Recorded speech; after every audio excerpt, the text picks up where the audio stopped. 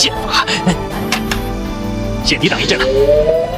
玉女剑法，哼，我没见过像你这样丑的玉女。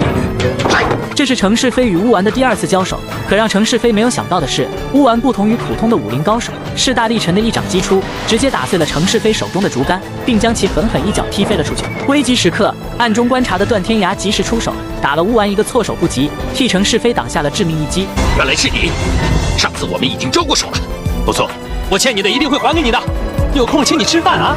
程世飞眼见段天涯到来，果断选择了溜之大吉。而段天涯之前与乌丸胜负未分，这次刚好与其再战一场，两人随即出手攻向了对方。与此同时，程世飞没逃出多远，便被丽秀公主给拦住了去路。丽秀公主恼怒前些天，程世飞假扮太后戏弄于她，这次程世飞送上门来，当然要好好招待程世飞。于是丽秀公主发动了音波大阵，也就是传说中的音波功，折磨的程世飞死去活来。你听到没听到？这叫音波功，你的朋友也跑不掉了。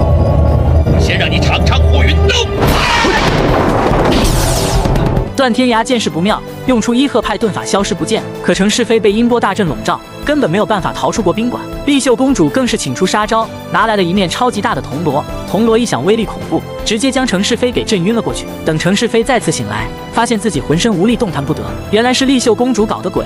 她给程世飞吃了十香软骨散，在十二时辰之内不能动用内力。再厉害的迷药也有药力消失的时候，到时候我再好好的教训你们。乌丸见程世飞如此嚣张，上前用出了分筋错骨手，折断了程世飞的四肢。若是没人帮程世飞接骨，程世飞将会一辈子无法动弹。为了更好的报复程世飞，乌丸又把他装进了大坛子里，让他在大坛子里生不如死的活着。好了，这样一来，那个废皇帝连真的假的太后都没有了。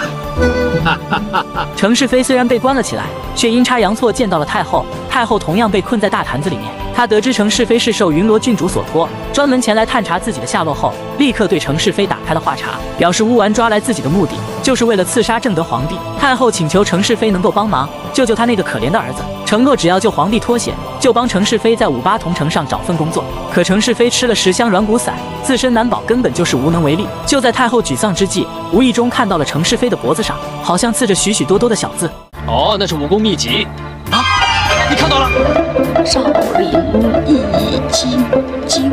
太后在程世飞的脖子上发现了少林排毒大法，让事情出现了转机。再看丽秀公主和乌丸，为了刺杀正德皇帝，分析起了局势。护龙山庄的三大密探，上官海棠中了乌丸的火云刀，短时间内不足为虑。归海一刀和段天涯不和，两人基本不会参加同一个任务，因此丽秀公主认为段天涯才是最大的阻碍。在刺杀正德皇帝之前，一定要解决段天涯。时间来到两天后。丽秀公主奉诏进入皇宫，等待正德皇帝的宠幸。铁胆神侯为了保护正德皇帝，派遣段天涯暗中监视丽秀公主。丽秀公主为了除掉段天涯，故意装作思念故乡的样子，来到荷花池旁跳水自杀，引诱段天涯前去相救。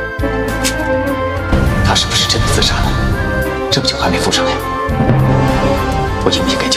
心地善良的段天涯明知道这可能是一个陷阱，可还是冒着风险救出了丽秀公主。丽秀公主清醒过来后，要段天涯送她回房间，趁机拿着准备好的发簪，悄悄暗算了段天涯。段天涯将其送回房间，才发现自己中了毒，浑身无力的瘫倒了下去。怎么了？走了这么久才觉得有问题啊？你的内力不是很好的吗？你